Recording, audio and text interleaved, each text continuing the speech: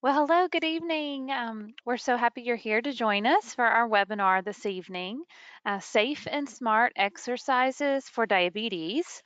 Um, should you have any technical difficulties during the broadcast, um, there is a number at the bottom of the screen to call um, LogMeIn Support at 800 263 6317.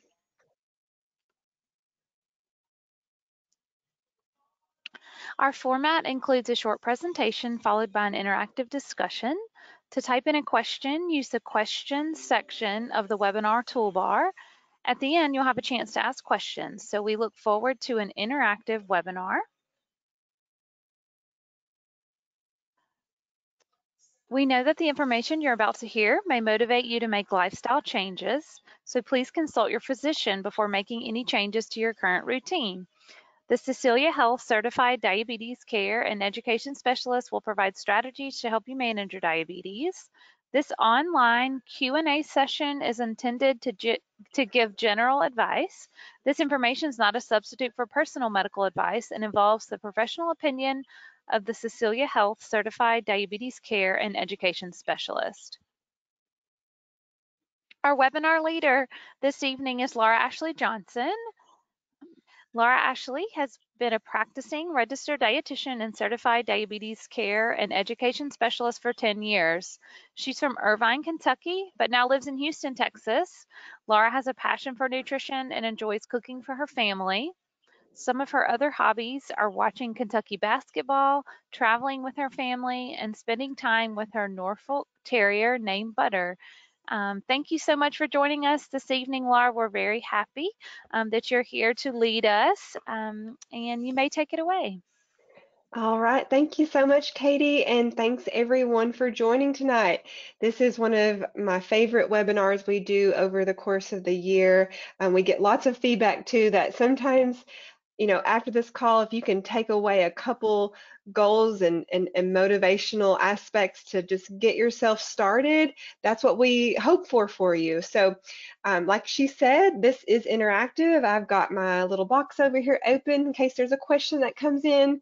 Um, there, we're going to cover quite a bit. Um, and if I know I'm going to cover it, I might wait till we get to that point as well. But I'm looking forward to hearing what you guys have to ask. So here's the agenda, what we're going to cover for tonight. We're going to talk about the benefits of physical activity and the research that supports the claims that physical activity will help. You know, how much exercise is enough? I get that question a lot from patients. How much should I really be doing? How to manage blood glucose and how to adjust insulin. This is important as you are managing your blood sugars. And then, of course, our questions, answers, and sharing. So first, barriers to activity. Whew, you know, there are many challenges, you know, reasons, excuses, kind of whatever you want to call it, that are expressed kind of as roadblocks to physical activity. You know, maybe you don't enjoy it, maybe you don't have time, you're tired of the starting and the quitting cycle, maybe you can't afford a gym membership, or um, maybe you're not seeing the changes that you want to see in your body. You know, childcare issues, non, time is the big thing I really hear a lot. Too stressed, too tired, too sore, oh gosh, they, we could really make a long list of reasons why we have got barriers to activity. But some of these are harder than others to fix and overcome. We, we get that, we understand that too. But we want to help get that physical activity incorporated. So under these circumstances, you can, you can, if you truly desire to get exercise in, you can do it. So let's talk about the benefits. So sometimes even when you feel yourself going against the fact, you know, getting your exercise started, just stop and think about all of the wonderful things that can happen as a result of getting physical activity into your routine. It helps with mental, emotional, and physical health. It reduces the risk of developing or die, dying from heart disease or a stroke. Um, it helps reduce blood pressure and risk of developing hypertension. It increases that healthy cholesterol if for those of you who like to remember the difference between those cholesterols too, the healthy one is the H and we want it high. That's why you can remember that one. And it also can help decrease the triglycerides and that bad cholesterol. The bad is the LDL and we want that low LDL. It can increase metabolism, which can help with weight loss too. Many people are trying to lose weight, especially after last year. It was quite a tough year. I know a lot of people have some weight loss goals for 2021. But regular physical activity can also strengthen bones and muscles and slow down the loss of bone density. Um, it can help you rest and sleep better at night, more peaceful sleep, decrease stress, anxiety. You know, it can also help regulate and improve your blood sugar levels, which we're really, really helping you take a look at. So for those of you watching this on your webinar right now, you're seeing a little cartoon. It shows a bloodstream and the cell. So physical activity has a wonderful effect on insulin sensitivity. It helps insulin work better. So just kind of envision sugar floating in your blood. It's in there floating around and it wants to have insulin unlock the cells so that it can get out of the blood and go into your cells. That's what gives you energy. When you're using your muscles more, when you're doing physical activity, they need more sugar too. So you have this effect of sugar coming out of the blood into the cells and muscles more because they need more. So you're burning more. So this is really a key element in helping improve your diabetes management with exercise. So this is a huge study that was done. Uh, it's called the DPP or the Diabetes Prevention Program. It was a major clinical trial that was aimed at figuring out whether diet and exercise or oral diabetes drug specifically metformin could prevent or delay the onset of type 2 diabetes in people with prediabetes. So this was a very, very big study that launched a lot of the um, practices that we we abide by with our uh, diabetes management programs. So in 2001, there were 27 clinical centers around the country that were split into random groups. There was the lifestyle group that received intense you know, diet training, exercise, and behavior modification. They were eating less fat, less calories, and exercising 150 minutes a week. A 5 to 7% weight loss was recommended as well. They met with researchers 16 times in 24 weeks, and then they met with them in two months, um, and then two months with an, at least one phone call between their visits. So they had a lot of coaching along the process as well. The second group took 850 milligrams of metformin twice a day. The third group had placebo pills. The second and third group also got info on diet and exercise, but no intensive counseling efforts. So that first group, they got a ton, the other two did not. In total, there were 3,234 participants that were overweight and insulin glucose intolerant. So let's take a look at what happened as a result. So here we go. Take a look at this chart. I'll give you a moment to look at it. So for those who don't look at it too, we have our three different groups, our lifestyle group, our medication group, and our placebo group. They're all listed there. So versus the placebo, the incidence of diabetes with the lifestyle group showed a 58% reduction and 31% less with metformin group of diabetes incidence of diabetes. So comparing the lifestyle to metformin showed 39% reduction with lifestyle. So it was clinically proven with this study, and it was paramount in showing how effective lifestyle changes really, really are with diabetes management and prevention of diabetes.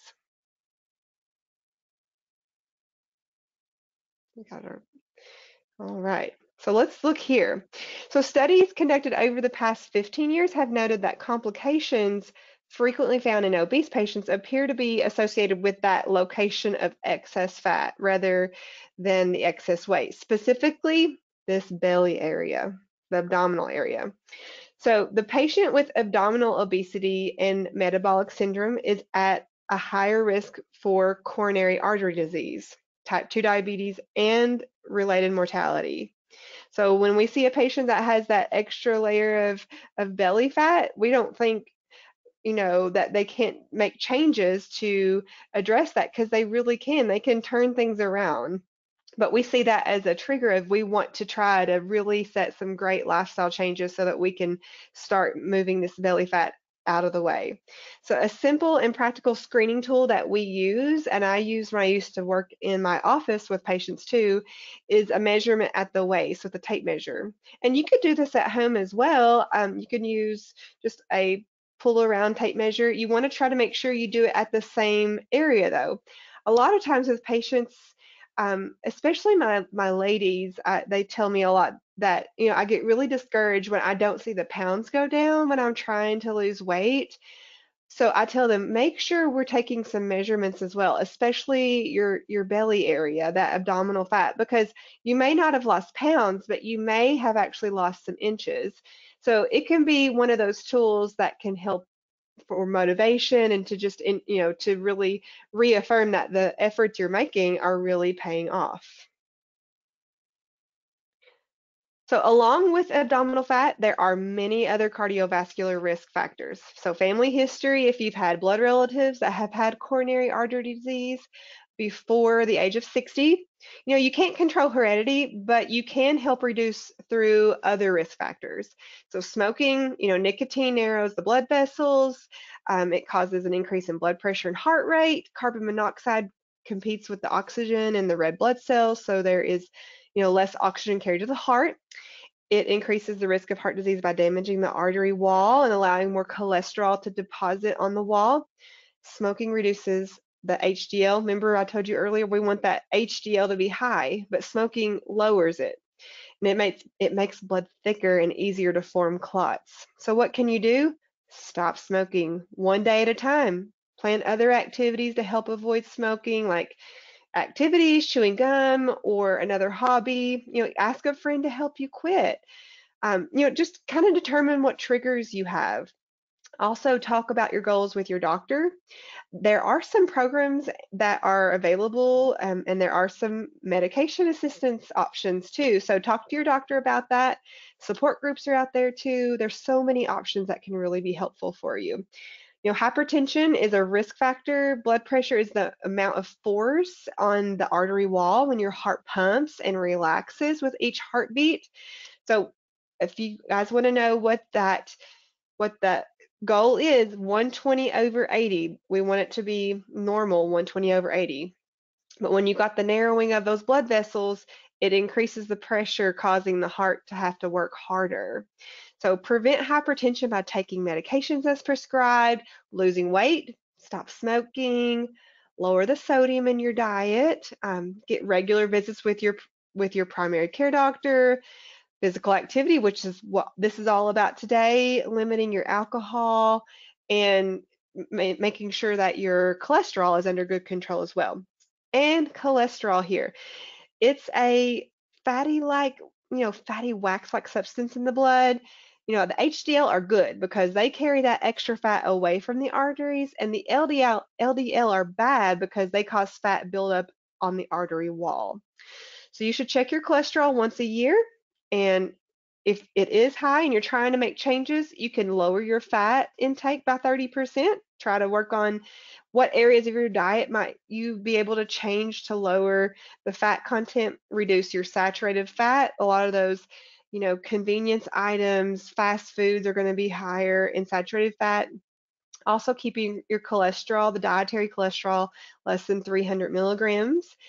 Um, lastly, here we got impaired glucose tolerance and impaired fasting glucose. It increases our risk for cardiovascular disease. Obesity increases risk by increasing bad cholesterol and triglyceride levels. So this is decreasing good cholesterol and making your heart work harder.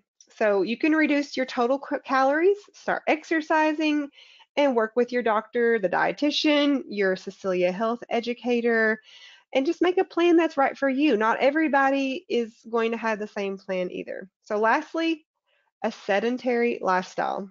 It increases your risk for cardiovascular disease. Exercise, as we've noted earlier, it strengthens, strengthens the heart muscle, tones muscles, it aids in your weight reduction, lowers cholesterol, improves blood pressure, your pulse rate, and not exercising, you won't get any of those benefits. So it's very, very important. So for those of you seeing your screen right now, we got a cartoon that says, what fits your busy schedule better, Ex exercising one hour a day or being dead 24 hours a day? And I had a a, a lady say, "Ooh, that was a heavy cartoon," might might I say? And that's right. But you know what? So many times I I talk about, you know, in your day, are, are there times when you're scrolling on your phone, that you're watching television, that you're you're what you're going through commercials? There's probably easily 5, 10, 15, 20, 30 minutes you can think like, can I integrate activity somehow? Was there a moment when I really could have done something? So yes, can we fit it in our schedule? We would definitely rather fit it in your schedule than not getting to live long, a longer, healthier life, satisfying life. So, the golden key. So there are some conditions that would warrant being, you know, being activity, you got to maybe proceed with caution. There are some circumstances where you have to be careful. So, of course, always and when I have patients have any issues that say, uh, you know, I can't really, Laura Ashley, it's, I, you know, I really feel like it brings me more pain than pleasure. Then I, we kind of probe what is it that's hurting you and try to see what we can do to to go around it. But I always say talk to your doctor first. Sometimes conditions may warrant you to see a physical therapist or an occupational therapist to give you the types of exercises that aren't going to damage whatever's bothering you further. So we definitely don't want you to push through it unless we know it's safe. So conditions like arthritis, osteoarthritis, back pain, neuropathy. So especially diabetic neuropathy, if you've got some, you know, things going on with your feet re related to your diabetes management, we definitely want to address that. Charcot's foot and um, retinopathy. Those are, those are just a few though. Um, I definitely know that the neuropathy is one. When I've got patients telling me that they've got um, very painful feet, um, ingrown toenails that are infected, or a nail that's discolored, especially um, if they've got some red reddish areas on their feet, we, we really don't want you to be out there walking in those shoes, not addressing maybe what's causing that to happen. So just like your Cecelia Health coach tells you, a minimum of once a year is your annual foot check. We always ask our patients, when was the last time you had your monofilament test? That's the little pin, you know, prick around your toe, your toes and your feet, seeing if you've had any sensation changes. Because you know, ensuring your feet are healthy and prepared to take on a healthy, new, safe exercise is vital. The last thing we want to do is have you walking along and creating a blister that can, through a cascade of other problems, be difficult to heal. I'll tell you a quick story here that I had a patient a couple years ago here with Cecelia Health. He kept denying me going getting his feet checked. I told him, you know, it's important once a year you get this checked because we gauge it year to year if there's any changes or if we need to address anything. Well, then a year after I'd been working with him, he went out on with some boat shoes, those like Sperry types of shoes, and he created a very big blister right below his toes. So right at that like pad of his foot, and he didn't realize he didn't have feeling there. And he had to be on eh, IV antibiotics for a few months to help heal that wound. And he said, I wish I'd listened to you. I wish I'd listened to you. Because he definitely wouldn't have been wearing those shoes and he would have been checking his feet, especially in those areas every day. So that's just a fair warning. Even if someone says, ah, I got my feet are fine, my feet are fine, I say, get them checked still, just to double check, just to double check. All right, we've got some take home messages here. So, not exercising is being like being sedentary is just like smoking. All of those negative things we talked about with how smoking can increase your cardiovascular disease and increase your risk of having, you know, hypertension, high cholesterol, um, poor blood sugar management. It's it's just like smoking. Not exercising and letting your heart pump and work harder and burn that sugar. It's it's it's in its own self a really negative thing for your body. So if you don't, if you do not exercise, you're at the same risk as a smoker. And I think that's a pretty, last time when I did this um, webinar, a lady th thought that that was shocking. Like she thought, I've never smoked a cigarette in my life, but I never, you know, I don't get up and move. So let's talk. What's the prescription? We got to start moving more and start some type of exercise program today. Today's a new day. It doesn't matter if for the last year you haven't done a thing. Today is a new day, and today you can start. You can absolutely start today. So there is a difference between what exercise is and physical activity. So if I've got someone that says, "Yeah, I exercise," you know, I, at work I'm pretty busy most of the day. Well, that you know, there are certain jobs that that really, really are, I would say, exercise because they are moving nonstop all day.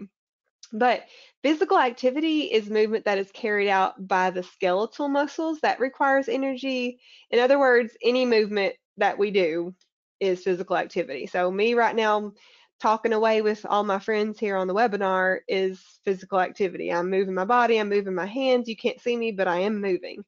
But exercise is planned, it's structured, it's repetitive, and it's intentional movement intended to improve or maintain physical fitness.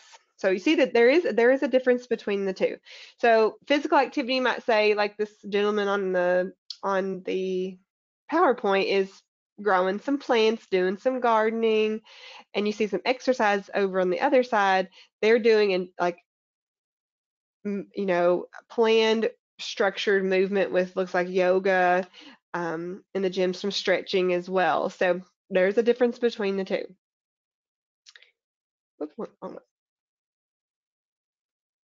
All right, so here is another study. So just, you know, the American College of Sports Medicine, we go by their guidelines. This is their recommendations, and this is the answer to one of the questions I've already gotten here, and we want to make sure you knew. What is the recommendation for how much you should get to? And that's 150 minutes of moderate intensity cardiovascular per week. So you could do it in two different ways. You could do it 30 minutes to an hour of moderate intense activity five days a week, or you could do 20 to 60 minutes of vigorous intensity. So something that's, you know, a lot more strenuous. You could do that three days a week. Now, you can certainly do shorter intervals too. I often get the question of, is there a better time of day I should be doing it? I always tell patients whenever you can get it in. That is the like getting it in is the most important aspect to me. If you feel better and you're motivated in the morning, do it in the morning. If you feel like at night when you exercise it revs you up too much and then you have a hard time sleeping, don't exercise at night. Maybe do it in the middle of the day. So you can break break it up, certainly do that. So uh, adults should also do some resistance exercises a couple days a week. So resistance, we want to put some weight on it too. We, you know, we talked about how physical activity can help with your muscles and your bone density, especially for ladies. Our as we get get older, our bones can lose that density, and we don't want to be breaking our hip and our and our knees, or you know, hurting ourselves and losing that really good bone strength. So very light or resistance is best for previously sedentary or older adults. So you're not going to be picking up a 20 pound dumbbell, or, you know, that's probably a little too heavy. But if you even held a water bottle in your hands as you go walking, that's a little bit of resistance. Maybe you kind of pump your arms up and down as you're doing it too. So that's a good light activity. For power, it's 8 to 12 reps, 10 to 15 reps for strength, 15 to 20 for endurance, and two to four sets for strength and power. Now, for me, I would say I need a trainer or something to kind of help guide me in these types of reps. That would be good for my uh, my health, and I would recommend that for anybody else. If you're kind of new at resistance exercises, and well, what does she mean by reps, and what does she mean by sets? You a lot of the gyms, and as they're opening, this is a blessing now that things are starting to open back up. Um, they often will offer a like a one-time tr- with a trainer um, as an option for you. And if that's something they offer for free, or maybe you pay for for once, they could at least guide you in the right direction of these are the exercises I should do as a routine. These are the amount of weights I should do for this particular part of my body. Um, so I say ask for guidance because those trainers out there, they love to tell you how to do a good job and how to, they can help you improve your your health as well. So here is an, another element here. So we're going to try to get this exercise in because we're improving our health and blood glucose and we're wanting to lose weight. So what are we looking for to do this for? You can divide the time 10 minutes in the morning, 10 minutes in the afternoon. There's 20 minutes a day. So five times a week, we want 20 to 30 minutes to help improve our blood glucose. Five to seven times per week, you know, 45 minutes to an hour to help lose weight. Not everybody with diabetes needs weight loss as well. It might not be one of your goals. Maybe it really is just getting your blood sugars under good control. So kind of figure out which one is best for you. Are you just more of the five times per week because you're trying to get your, you know, your heart pumping, work on your heart health and your sugars, or do you need to increase it a little bit so that you can try to lose some weight? And that will also help with blood sugars and your heart health too. So managing blood glucose. So now overall, we want exercise to lower blood glucose, but be aware unplanned activity or activity without possible medication adjustment or food adjustment could lead to low blood sugar or hypoglycemia. So too low is not too good, okay? So there are two main reasons exercise could cause low blood glucose.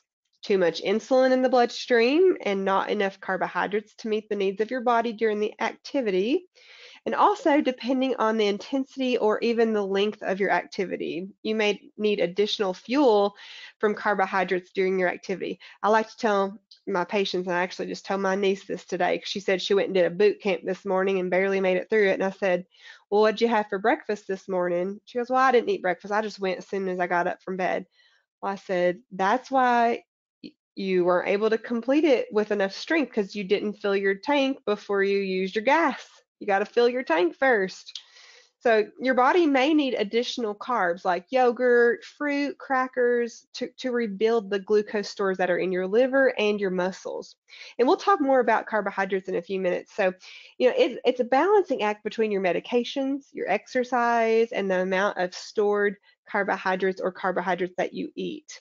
So it's important to note that the risk of low blood glucose primarily applies to those taking insulin or certain oral med medications that cause the pancreas to, to make more insulin, such as sulfonyl, sulfonylureas. And those are like glipizide, glyburide, glimepiride.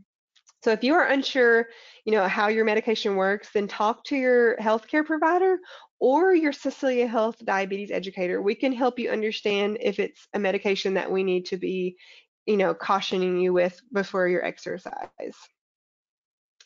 So remember too, when you lose weight, you are more sensitive to medication and a low blood glucose could result. So, so how do you know if you're having a low blood glucose? Well, a low blood glucose is less than 70, so you may feel shaky, dizzy, nervous, kind of hungry, even clumsy. So it's very important that you test your blood glucose whenever you feel these symptoms.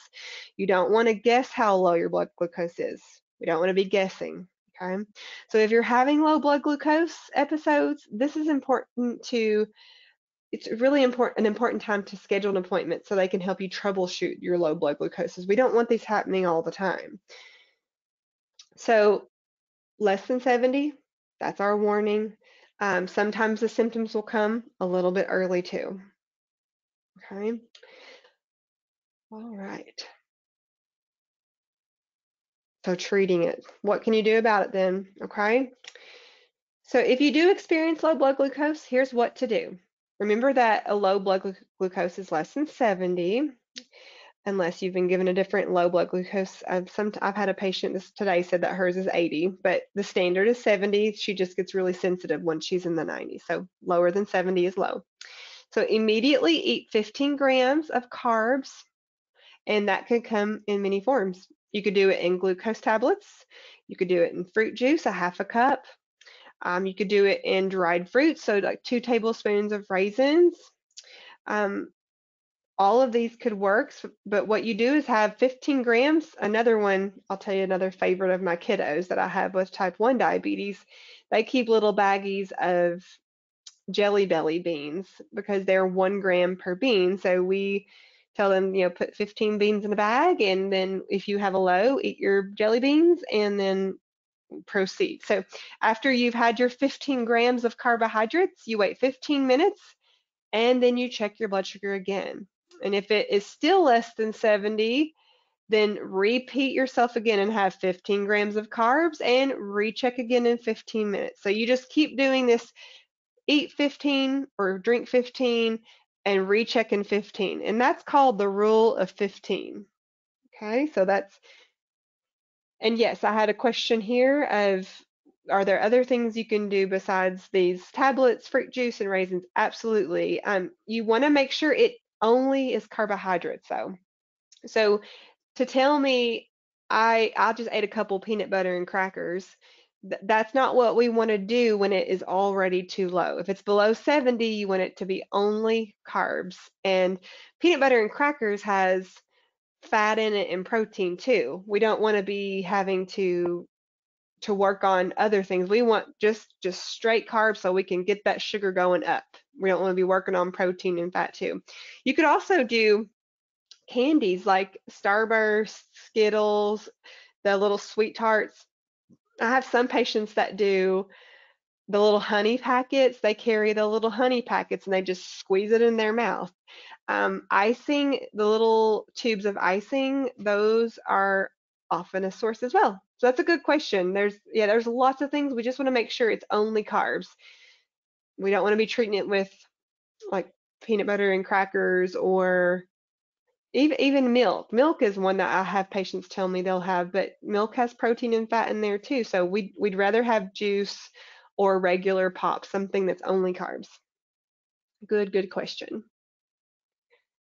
Okay, so reduce your chance of low blood glucose before and during exercise. So check your, you know, a low blood glucose can be frustrating, especially when you're exercising, you're trying to do something good for your body and you're like, now I'm having to deal with this. So, you know, we want to try and help you plan ahead to prevent the low blood glucose from happening. One way to start is to make sure you're you keep a detailed record of your blood glucose before and after you exercise. So, you know, this is important if you are on insulin and pills too, because then you can kind of see a trend of, okay, if I'm running between 100 and 150, then I'm going to eat this type of snack. If I'm between 150 and 250, like you might have some um, parameters where you know that I need this kind of snack if I'm starting out my exercise with this type of blood sugar. You know, so if you test your blood sugar and it is less than 100, make sure you have a snack.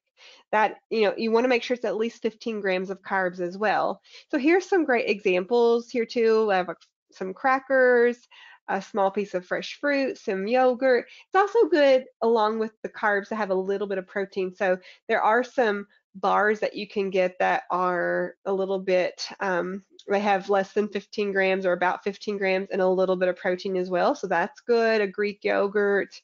Um, this might be a good place for peanut butter and crackers because you're not treating it low. You're okay. You're just prepping yourself. You're filling your tank so you can use your fuel.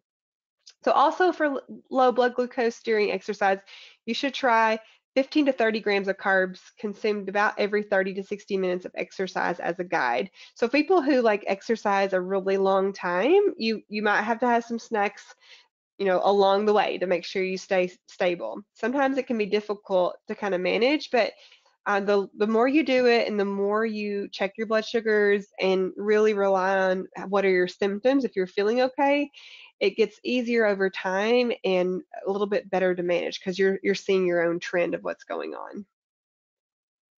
So what is a low blood glucose post exercise? So check your pre and post. Before exercise, 110 to 140 um, is insulin and above 90 if you're pills. So you want to make sure you're above those those scales depending on what you're taking. So oral agents higher than 90, insulin, this is for after your exercise. You want to make sure you're above 110 if you're on insulin, and if you're a child, after the exercise, you whoop, you want to make sure it is more than 120 to 130. Okay. I'm going to show that one more time because someone asked me they wanted to make sure they get this right. So before exercise, 110 to 140. Make sure it is above that if you're on insulin. If you're only on pills, make sure you start your exercise, you're going to be above 90. And then after exercise, make sure you're above 90 with oral medications. Insulin, make sure you're above 110. Children, 120 to 130. Okay. So managing blood glucose. So to reduce your chance of low blood glucose after exercise, remember that blood glucose can be lowered many hours after you exercise. For this reason, it's a good idea to have carbohydrates and your meter nearby. Um, higher in intensity activities can lower your blood glucose faster and for longer. So how long you were active also needs to be considered. You know, as we mentioned before, monitoring your blood glucose before and after activity will help you learn the effects of activity on your blood glucose control. And it's important because every person's response to activity is different. It really is. And you may want to also monitor your blood glucose before going to bed. Like we said earlier, you're going to have maybe this lag effect. So if you exercise four or five o'clock, you could eight, nine o'clock still be in this, you know, increased lowering effect of your blood sugars. So always check after exercise, and it's not a bad idea to check before bed too. Here we have another cartoon. I was hoping you'd let me know how much more insulin I need to take if I decide to supersize my order. So here, here's the thing. You can't train away a bad diet. You, you can't exercise away a bad diet. So if you're exercising but you just eat really poorly, you know, it, you're kind of just defeating all this effort and what you're you know you're putting in so much work to try to help yourself but then you're really still harming yourself. So you know just remember uh, 3500 calories equals one pound. So you may you need to create a deficit of some calories over the course of maybe a week so that you can lose some. I always tell patients especially now with social media, how it is, I see people telling patients they need to eat a thousand calories a day or less than a thousand or less than 1200 and that's not a good idea either. You can't starve your body either. So you might want to talk with your dietitian about what are your calorie needs and maybe what calories should you shoot for in order to lose weight and like we mentioned earlier with exercise, it's different for everyone, and calorie needs are different for everyone. I wish I could tell you, yes, if everybody here had 1700 calories, you're going to lose a couple pounds a week, but that's not even the case. You have to know what it is your body needs and what it might need to create as a deficit to lose some weight. So, diet is the weight loser, physical activity is the weight maintainer and just think as you're losing weight too, you're going to be able to improve the ability to exercise and how you feel as well. Here we have another chart. This is the effect of diet plus and negative on exercise and weight loss. So let's watch here. So the perforated line is no exercise. So we do have some weight loss, but that, that's just with that alone. And now let's look at it with exercise. So diet and exercise, double doing definitely going to show a better effect. And I like that this is a male policeman population. This is what this came from. but now let's look over the course of time, okay? Because what we want to do is also create sustainable changes as well. So here's here's incorporating exercise kind of stagnant, but and then there's some that increase their exercise and they're also improving their with no diet. But look here what happens over time. I'm going to kind of move it forward. All right. So as you can see, when you've got diet and exercise going together, then that's when you're going to see the best results over the course of 18 months. Okay. So some of us may need to adjust insulin if you're on it. Um, generally, these are these are just recommendations. I think, as Katie mentioned earlier too, you definitely need to ask your doctor what would be best for you. But these are some general guidelines. So if you're on a Humalog, regular, or Novolog type of fast-acting insulin, you would cut it in half, like two to one. Um, the NPH 7030, the, the middle acting kind, that would be cut in half as well, like four units to two units. And really, the Lantus and Levemir, those are the long acting ones. They're going to be working across the whole day. So they may not be adjusted at all. It's usually the fast acting ones that are needing to be adjusted, but talk to your doctor on what you should do for sure.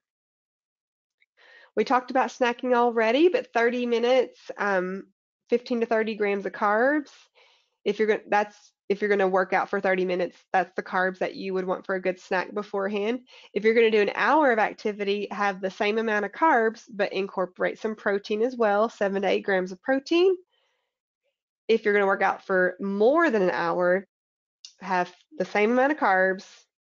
Going to have some protein as well, and also you'd adjust your your insulin if you're on insulin. So which should I do? Insulin planning activity is is a good idea um, to lose or maintain weight and to improve control. You definitely want to try to create some good um, expectations of what your blood sugars do. Keep track of your blood sugars either on like a continuous glucose monitor or finger sticks that you may check so that you can know how to adjust your medications one thing with insulin, we don't want you to be going low all the time and then having to treat yourself all the time as well, because it's also making you eat more and you're trying to lose weight. And, you know, it's like this, like, what can I do? Talk to your doctor because they may need to make some adjustments with your medicine. Okay. And when to have snacks, especially if you're doing long duration activities or unplanned activities. Um, when should I not exercise? In general, sick days, if you got some respiratory issues, head colds, if your blood sugar is over 250, you might want to check for ketones. If you don't know what ketones are, um, ask your doctor if that's something you need to be checking. But specifically, if you've got type 2 diabetes, you don't want to exercise if you're over 400, type 1 if you're over 300, and check your blood sugars within 5 to 10 minutes. It should be dropping, but otherwise stop. In type 1, always check for ketones when blood sugars are over 250. If you have ketones, then stop. So managing blood sugars, what can you do? Kind of have yourself a go-to kit so you're prepared. Have your meter, something on you that shows that you have diabetes, like a, a bracelet or a necklace or something to show people in the gym or in the place you're working out. Maybe even if you're taking a walk, it's good to have something that can show you've got diabetes. You could carry a carbohydrate source with you. One of our snacks we talked about, some of our uh, low blood sugar treatments you could carry with you. Definitely carry your phone so you can reach out to someone if you need assistance.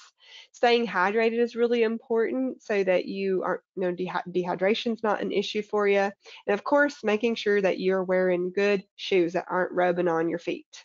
So if you're not sure if it's rubbing on your feet, do some good foot checks at the end of your activities and maybe a family member or friend could help you just to make sure there's no red areas.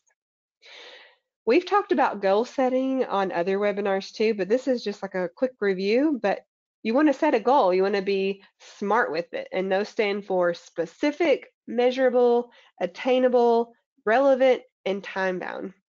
So an example of this will I will will be I will walk 5 days every week for 30 minutes each week.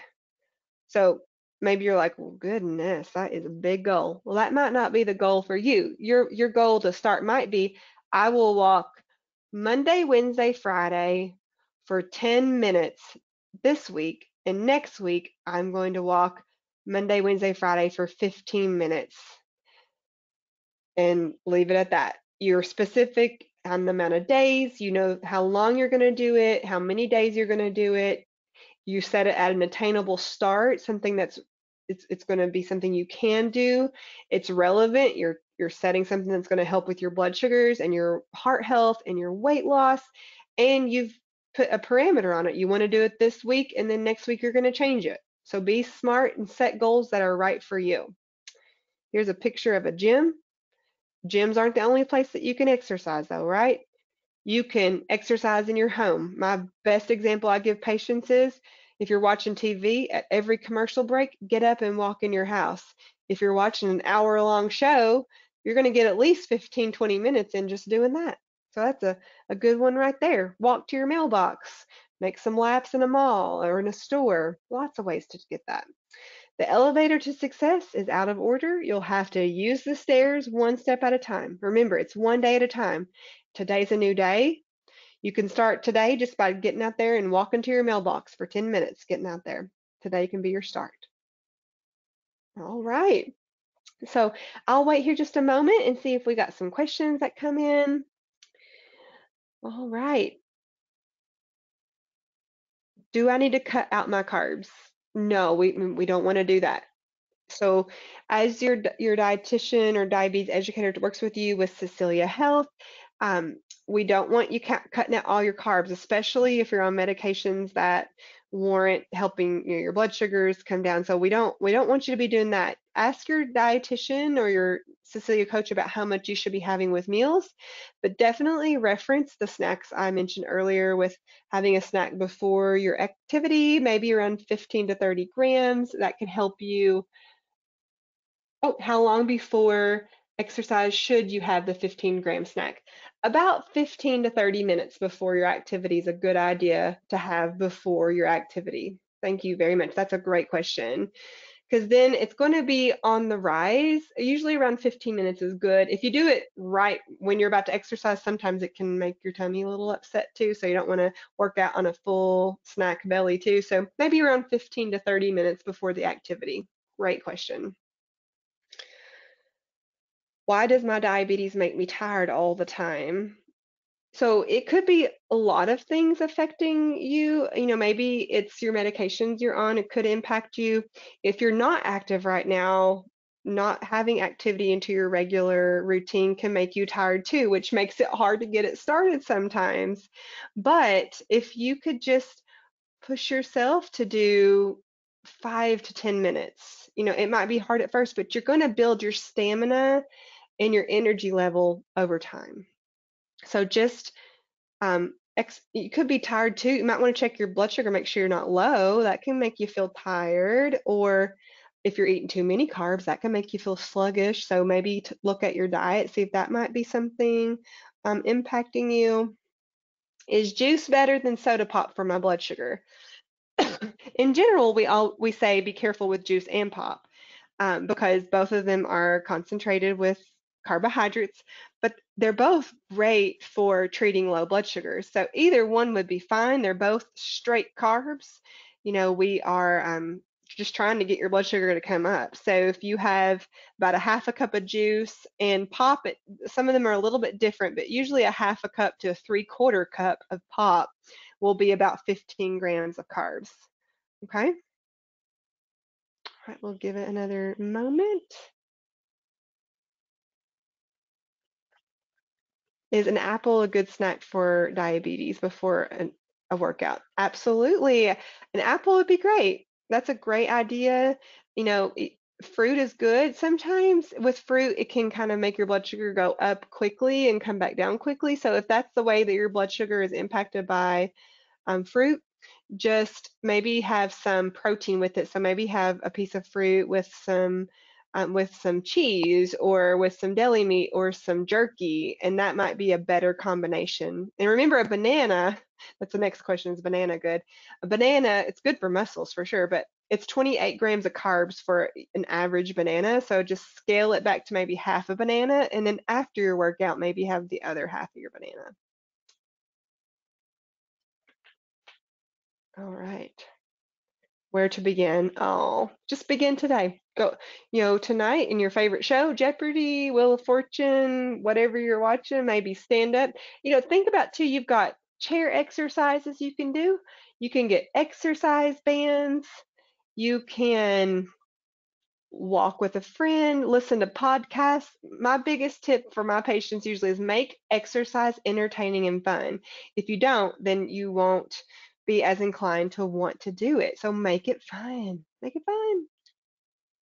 I like watching a show sometimes, like something like a series on the a treadmill. I'll watch a show that has lots of episodes and then I look forward to getting on the treadmill so I can see what happens in the next episode.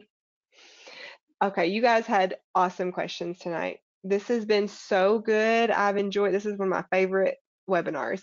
So upcoming events, the next one is June the 9th. It's Mythbusters, Separating Fact from Fiction, Finally Diabetes Unveiled.